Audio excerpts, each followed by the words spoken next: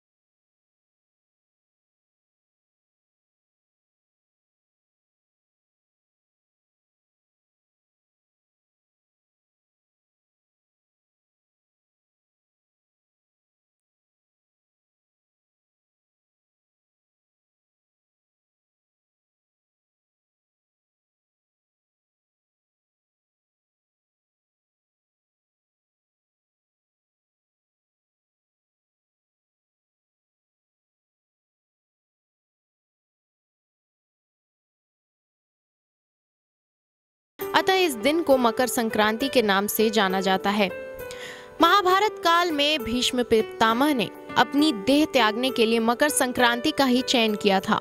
मकर संक्रांति के दिन ही गंगा जी भगीरथ के पीछे पीछे चलकर कपिल मुनि के आश्रम से होती हुई सागर में जा मिली थी।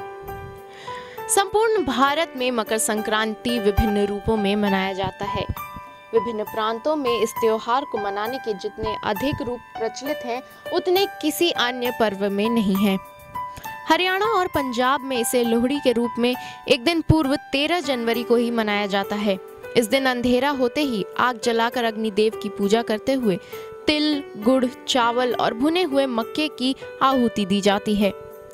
इस सामग्री को तिल चौली कहा जाता है।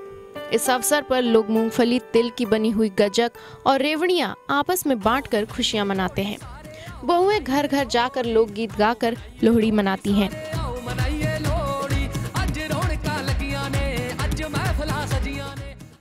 लोहड़ी और मकर संक्रांति की आपको ढेरों शुभकामनाएँ।